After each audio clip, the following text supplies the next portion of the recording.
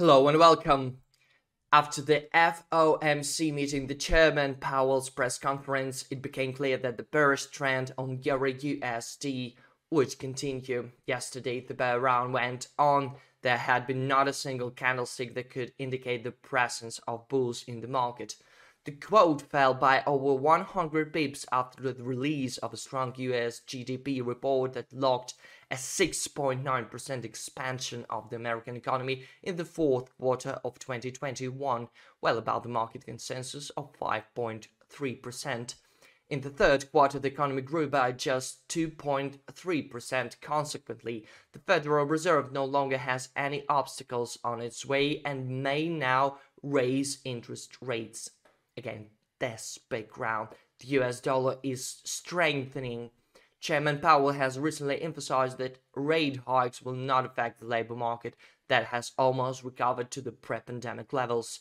Taking into account the current economy results, the American regulator may now adopt a more aggressive stance on monetary policy to curb rising inflation. So the greenback continues to add gains, and there have been no signs of an impending reversal so far. Speaking of the macroeconomic calendar, Q4 GDP in France and Spain, well as unemployment and Q4 in Germany will come out today. The German economy is expected to slow down by 0.3%. If the data is well below market forecast, the euro may tumble again. Consequently, this could trigger mass buyout. In addition, the consumer confidence report will be released in the Eurozone. However, the main focus of market participants will be on US macroeconomic data. Such reports as personal spending and personal income will be of central importance as they are key indicators that affect retail sales and the economy as a whole. Also, the University of Michigan will present and consumer sentiment and inflation expectations data. In case of good results, demand for the greenback will mount. From a technical point of view, the level of 1.1167 acts as resistance. The moving averages are also gradually approaching the barrier. In the event of a false breakout at this mark, a sell signal will be produced. The target is seen at 1.1181, where long positions on a rebound could be opened if there's is the MACD divergence allowing rise and consolidation above 1.1167. A breakout and test of this mark from top to bottom will generate a buy signal. If so, the quote may retrace up to 1.1200 and 1.1236 where you could see sell the pair with a view to catching an intraday correction of 15-20 pips selling the instrument from 1.1200 will be possible only in case of a false breakout.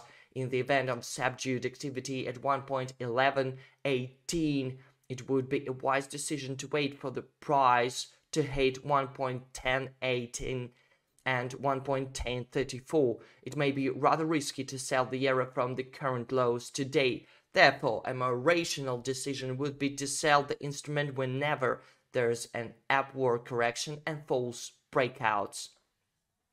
Speaking of the pound sterling, the quote trades higher. A false breakout at the level of 1.3411 will generate a sell signal. Due to the absence of fundamentals today, an upward correction may occur.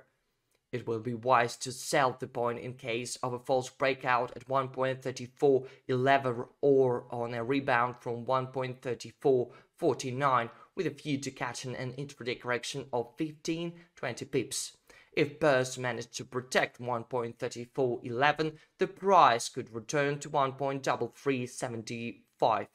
A test of this mark from top to bottom will produce an additional sell signal and the pair will go down to 1.3344 and 1.3301. If so, long positions on a rebound could be opened, allowing a 20 25 pips intraday correction. However, if bursts protect 1.3375 or settle by 1.3411, it would be possible to go long with targets at 1.3449 and 1. 34.85. Good luck.